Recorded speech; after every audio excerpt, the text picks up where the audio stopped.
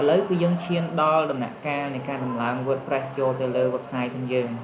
អឺដំបូងយើងត្រូវចូលទៅ control panel នៅលើ A2 hosting របស់យើងអឺដែលយើង scroll ចុះមកក្រោមនៅក្នុង section script នេះគឺយើងមានកម្មឃើញកម្មវិធីជាច្រើន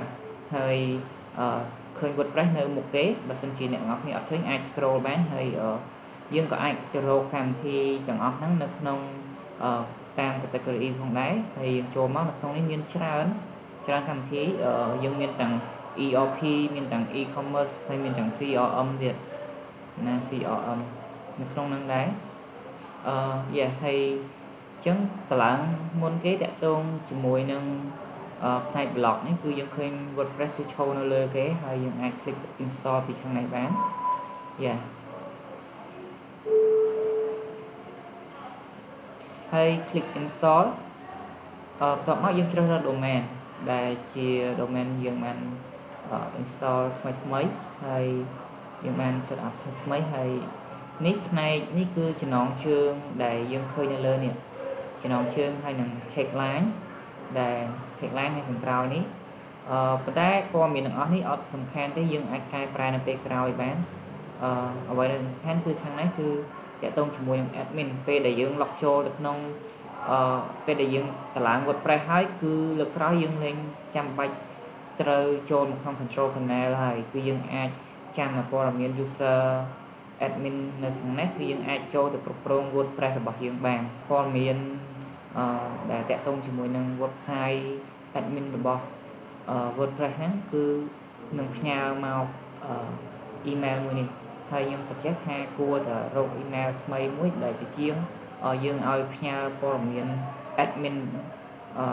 security អីផ្សេងផ្សេងឬក៏ alert alert អីផ្សេងផ្សេងនៅលើ WordPress រត់ចូលទៅក្នុង email personal ឬក៏ working email របស់យើងដែលយើងត្រូវការប្រើជាមួយនឹងអឺ account តខ្លួនយើងទូទៅអូ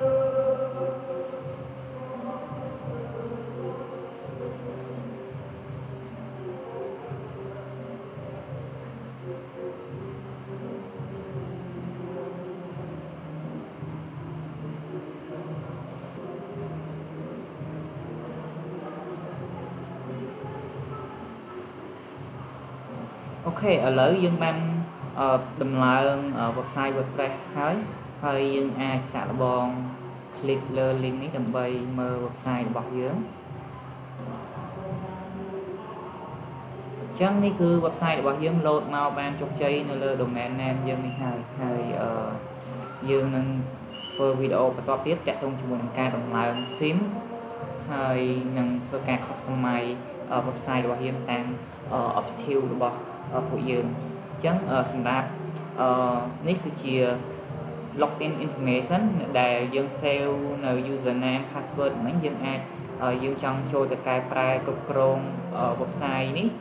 WordPress នេះគឺយើង click លើ link ខាងក្រោមនេះ